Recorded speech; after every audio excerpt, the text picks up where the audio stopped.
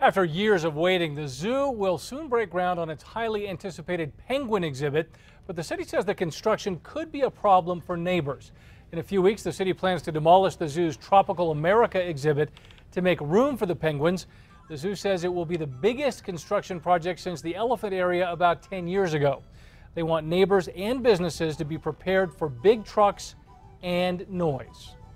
Like any transformative uh, project, it's good have some construction um, burdens and delays, and that's just part of the process. And we hope that the public is uh, patient with um, the uh, construction crews.